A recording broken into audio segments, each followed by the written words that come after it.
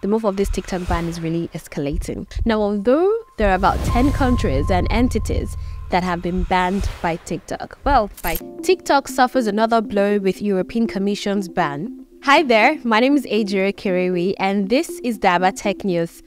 Now let's go into the detail. Please do like, subscribe and also put your notification button on.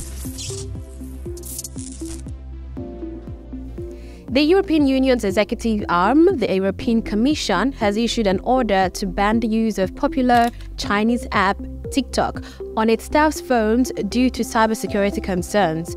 The EU's move underscores the growing lobby against the social media app owned by ByteDance, that's the world's most valuable startup, over concerns of its proximity to the Chinese government and hold overuse data across the world.